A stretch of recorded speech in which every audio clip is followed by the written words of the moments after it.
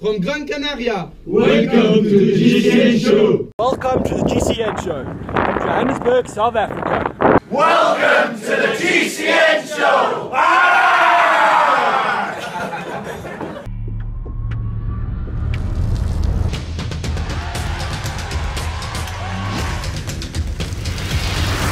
Welcome to the GCN show. This week we pick over an action-packed and slightly controversial Milan San Remo. How was the race really won? Plus, we have got some wicked new tech, including something to shake the very foundations of hardcore cycling fans. Plus all our regular features as well. In the light of the recent terrible events in Belgium, everybody here at GCN would just like to take this opportunity to pass on our thoughts and wishes to everybody affected. Right then, cycling traditionalists, hold on to your hats because this is going to rock your world. Hold on to my hat, mate. All right, Campagnolo have just shown, wait for it, a disc brake. I know, yeah, crazy, isn't it? Couldn't hold on to my hat. Apparently, they're quite close to a finished prototype, and all of their World Tour teams are currently involved in the final testing phase. So that is going to be seriously interesting when that lands, isn't it? Certainly is. But staying with high tech, Zwift have launched a new expansion, which is going to be pretty good for those of you who like climbing. Now, the new Watopia Mountain expansion features two new climbs. There's a 9.5 kilometre climb, which averages 3.9%, and a 6k climb, a little bit steeper at 5.9%.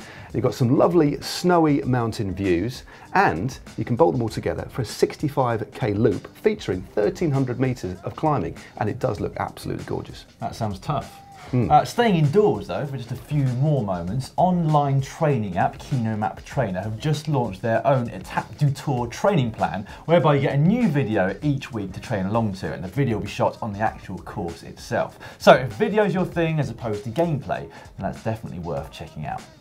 Right, and finally, for Tech of the Week, when I was out in Taipei, I met a guy who had a new product that was about to launch on Kickstarter. Check it out. This is the Hex Lock and it's launching on Kickstarter. Basically it's a way of making your bike components theft proof because this little Allen key shaped, I don't know what you want to call it, basically blocks any Allen key bolt. So it could be uh, your seat post or it could be your handlebars and it's simply released using this key by pressing in and turning it out. So the key itself is almost unique. You push it in, turn it half a turn and away it comes. Unbelievable weighs just 1.8 grams, so you could even stick it on your posh road bike. And they come in 4, 5 and 6 millimeter Allen key bolts. Milan Sanremo is the first monument of the year, and it's really a race for the cycling connoisseur. And that's because everybody anticipates and waits for some action to happen, which invariably it does, albeit in the final 25 Ks of a 295 kilometre race. Now this year it was French sprinter Arnaud Démare of FDJ who took victory in Milan San Remo. And the fact is, he was a bit of a dark horse going into the race. So the question is, how did he do it? How did Démare win Milan San Remo? The first monument for France, remember, in 19 years. Yeah, well, firstly, you got to hide, haven't you? So you don't do anything for the first 250 kilometres other than sit in the bunch and be looked after by your teammates. So we can move swiftly over the first six hours of racing and get to point number two, which is that you have to stay upright. Hmm. Except Démare didn't, did he? No, that's true. He was caught up by a crash, which also involved the likes of Geraint Thomas and pre-race favourite for the race, Michael Matthews. And therefore, he had to do a big chase after losing quite some time to the bunch which was still going full throttle on some very tough coastal roads. But he did eventually catch back up, so the debate has been how exactly did he do it, and did he hold on to a team car? Yeah, so let's look at what we know. Two fellow riders accused him of taking a tow up the Cipressa, and Démare's Strava file does show that he was the fastest rider on the Cipressa, which is no mean feat for a sprinter. But also, there is photographic evidence of Démare sat on Michael Matthews' wheel, being towed by another Orica Green Edge teammate, not a team car. Yeah, well, that's right. So Simon Yates was one of the Orica Green Edge guys, giving him a pace up there. And he stuck up for Démare on Twitter afterwards in this social media storm, saying that he posted a speed of 54.5 k an hour up the Cipressa whilst he was in the convoy doing legitimate things, as opposed to illegitimate things. Fair play to Démare, he did actually upload his Strava file from the race itself, but rather frustratingly, it didn't include any of the power data, which was all that was needed from his part to prove that he did indeed have to pedal very hard to make his way back up to the group. Hmm, fair point. But what else do you need to win? Well, a stroke of luck wouldn't go amiss, and he certainly got a little bit of that. Just take a look at this picture here. The rider in the centre of your picture, that's Fernando Gaviria, arguably one of the fastest sprinters in that group left at the end. There's Arnaud Démare, just in the middle, just managing to move around the crash on the right hand side. But look at the angle of Fabian Cancellara there, and Peter Sagan as well nearly went into the barriers. They did an amazing job just to stay upright. They did, although as Caley Fretz pointed out, because that is his tweet there, kudos to Trek mechanics for gluing the tubs on so well, because they've pretty much saved Cancellara's classic season right there, haven't they? Look at that angle he's at. Yeah, it certainly did. Uh, meanwhile, runner-up on the day was Team Sky's Ben Swift, and as you can see, he also had to take some quite evasive action, quite a long way back. So it's almost a miracle that he did manage to make up all those meters and finish second. Yeah, fair play to him. Indeed. So there you have it. Whatever assistance Démare got or didn't get, he still did an amazing job to put himself back into contention in Milan San Remo and then was the fastest man still standing at the end. It's competition time, and we have a winner for one of the most illustrious prizes a cycling fanatic could ever wish to win. So, the person who will be riding the final 100 kilometres of this year's Tour of Flanders with some cycling legends, including previous winners of the race, in between the men's and the women's races on the day of the event, in front of thousands of cycling fans, is. Ooh, Mike Winkup of Tampa in Florida. Well done, Mike.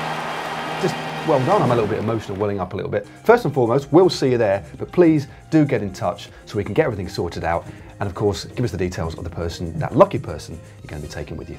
And make sure you pack some bib ties and some gloves as well, because I And should imagine shoes. Flanders is going to be a little bit cooler than Florida. Definitely, definitely wet, wet. And if you need to see how to uh, pack your bib tights, there's a useful bit of info in our 11 cycling hacks video.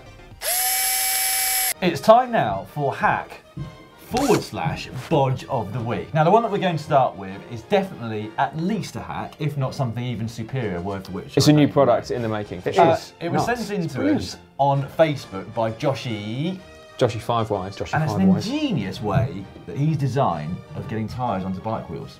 It's so ingenious, actually, you almost can't believe it exists. I kind of want him to make me one. Next up is this from Dave Lambert, and this is very, very, very strange, but also quite practical. It's a top tube, a seat, and a mudguard all in one. Found it on the internet. What do you reckon? Do you think you could ride that, Matt, or do you think that's a bit close to your fear of logs? Maybe Like it would counteract therapy? any logs that I subsequently run over riding on that bike. They're obviously quite precious knows? about it because they've locked it up. Mm. It's definitely a bodge anyway. You could always nick the log actually, you just have to slice the gaffer tape, I would have thought. Anyway, clearly someone who has watched the uh, hacks video recently, Tim Litchfield, has uh, given himself plenty of room to buy some new Lycra because he's rolled all his shorts up. Nice. Well, that, neat. Good you have hack, to admit, that does look far neater now than it did before. It does. Uh, meanwhile, Joe Rumming wrote in with this uh, picture of an SIS spotter saying, heading out for a weekend cycling tour and forgot to pack your wash kit. No worries. He's put it all inside the bidon. That's Good quite job. cool. He's Well- clearly watched our hack on Facebook as well. Well done, Joe. And this from the cycling snob. This looks like a terrible idea, but I still think it qualifies for a GCN hack. I think it looks amazing. Perfect It's, for uh, Zwift, isn't it? Yeah, it looks like a generic games controller, sellotaped or gaffer taped to handlebars that don't exist.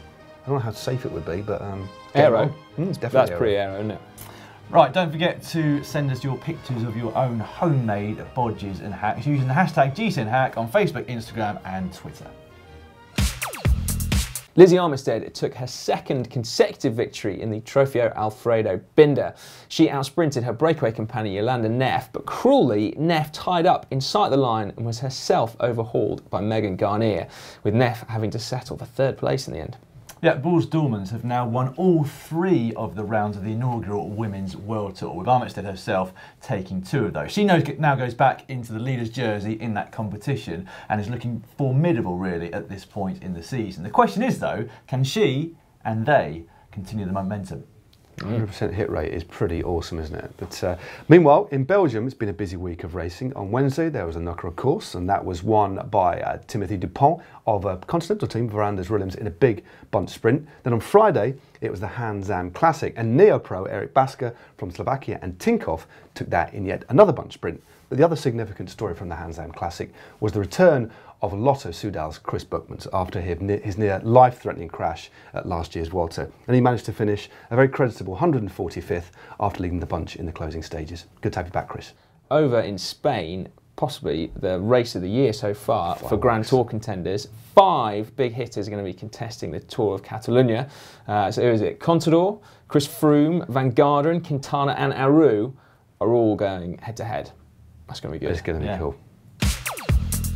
Time now for caption of the week. Take Yep. it away, Lloydie. First up, last week's winner, which was underneath the photo of Trusov, looking slightly muddied after a crash in Strade Bianche. Uh, winner is Jay Puppykick, who said, caption, I could do an AG2R kit right about now. Well done, get in touch and we shall send you out some GCN swag. He only just beat your remote caption that you sent in, by the way, last week. Only just, because that was a really, really strong one. Now, this week's caption photo is Marco Haller on the ground during Milan San Remo. He did get back up and finished. Matt, do you want to go for it? Ooh, a penny. That's a strong contender, that one. If you want to enter, make sure you stick your caption in the comment section down below. They're not going to be that Where one. did you That's think of that? absolute genius, mate. That one. never Not heard gonna- that it's not before. gonna- I- d- what- if I win, can I get a bead on? Could probably just turn around and nick one. I Have one trade price. Cheers. It's now time for cycling shorts. First up, apparently, mountain bikers have better postures than road riders. What? Yeah, no, personally, I don't believe that. But in the International Journal of Sports Medicine, they have a report that says that road riders are more likely to hunch over.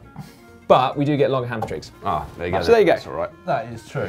Uh, now, some slightly disappointing news, certainly from my perspective, which came out last week, is that Alejandro Valverde of Movistar will not be competing at this year's Tour of Flanders, or indeed the race which build up to it. Now, he was due to make his debut at the race this year uh, at age 35, but has instead chosen to go on a high altitude training camp in preparation for the Giro d'Italia.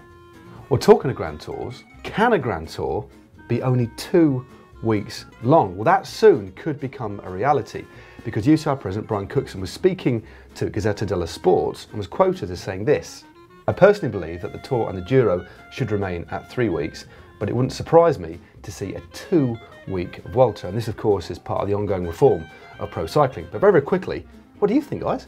I think that's really harsh to the Tour of Spain. Can't be a grand tour at three weeks. And it's been one of the Two best Grand Tours of the year, especially at the back end of the last few years. It's been absolutely scintillating and really, really exciting. Yeah, Yeah. short stages, slightly smaller teams are the way to go, but I think they should all remain three weeks. Same here. They should. Now, finally, for cycling shorts, did you see that the world cyclocross champion Wout van Aert was spotted training with the Etixx Quick-Step did. team just before Milan San Remo? Now, is this going to precipitate a move to the road, or was he just riding with a load of his Belgian mates somewhere pri- nice and hot? It's a lovely place for a cafe run, though, isn't It it? is, isn't it? But still, we can talk about this one for ages. Mm. It's time for GCN's weekly Wattage Bazooka!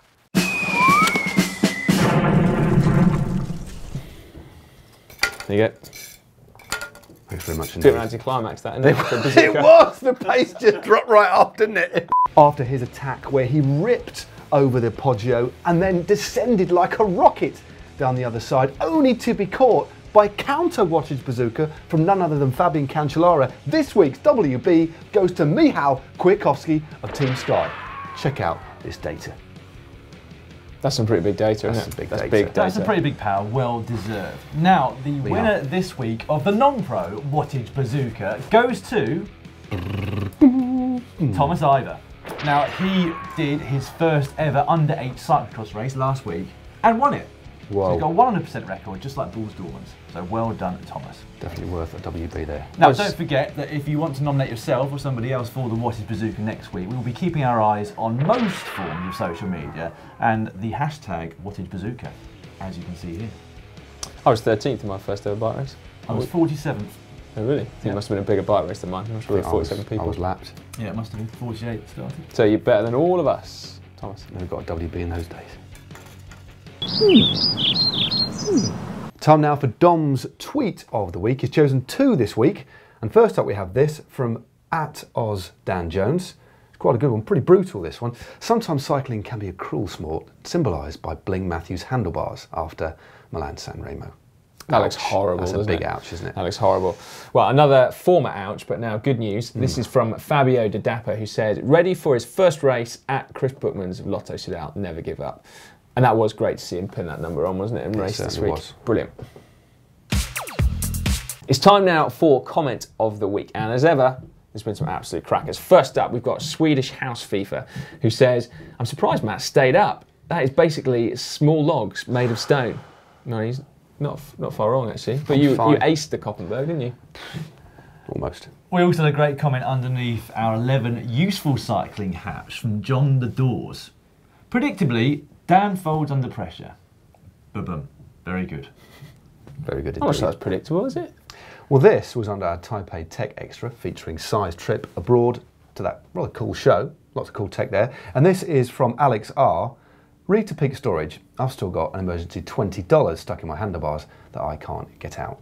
So of course, Topeak had that, the bar end chain link remover stuck in as well. But I have lost a fiver before in my uh, handlebars back in about 1989. That was worth Still quite a lot of money in 1989, wasn't They're double the price of the bike now, actually. on the channel this week, on Wednesday, it's how to ride in crosswinds. Because of this, it's important to be considerate when you're riding in a group. Now, if you're riding in the UK, where we ride on the left-hand side, and the wind is coming from the right, it's courteous to leave a little bit of space on the inside so the rider behind can get some nice shelter. On Thursday, our top 10 cycling world records. The actual answer is 25.72 kilometres, which is 15.98 miles in a single hour, set by Manuel Scheidegger. Now that's pretty impressive. I think I'd struggle to do that distance myself here now, on two wheels these days. To be fair, Dan, you probably would. All right. Yeah, on Friday, Matt and I have quite a heated debate about who is the better rider, Fabian Cancellara or Tom Boonen. It's Tom It's Boonen. Fabian Cancellara. And Saturday's pro bike is Alex Dowsett's Canyon Aeroad CF SLX. Sunday is Ask GCN, which actually is mainly going to be Ask Matt. It certainly is, yeah. But Ask Matt. And then on Monday, we have got another maintenance video for you. It's Fabian Cancellara. And on Tuesday, it's the GCN show. Tornado Tom. Now, if you want to see some more GCN videos, I imagine you might want to after that, then why not click just up there and you get straight through to the GCN quiz, which is definitely worth entering. Or for our top 11, 11 cycling hacks, click just down here. And to subscribe to GCN, click on the floating logo.